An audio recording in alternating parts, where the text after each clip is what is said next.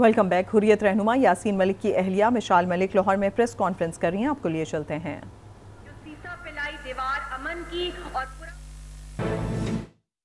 हुरियत रहनुमा यासीन मलिक की अहलिया मिशाल मलिक लाहौर में प्रेस कॉन्फ्रेंस कर रही थी जिसका कुछ हिस्सा आपने मुलायजा किया।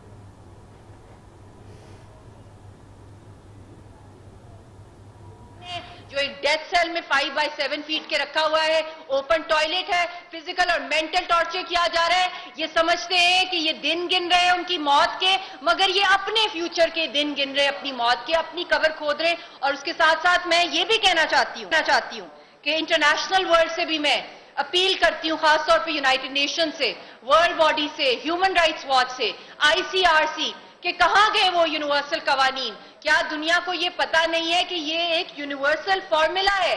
कि अगर आप एक ही चीज़ को रिपीट करेंगे सेम इंग्रेडिएंट्स में मिशाल साथ मलिक न्यूज़ कफन बाँध कर निकली है हमें मौत से डर नहीं लगता हम 75 साल से मुकाबला कश्मीर कौम इसी तरीके से लड़ती रहेगी ऐसा कहना था मिशाल मलिक का जो कि लाहौर में प्रेस कॉन्फ्रेंस कर रही थी।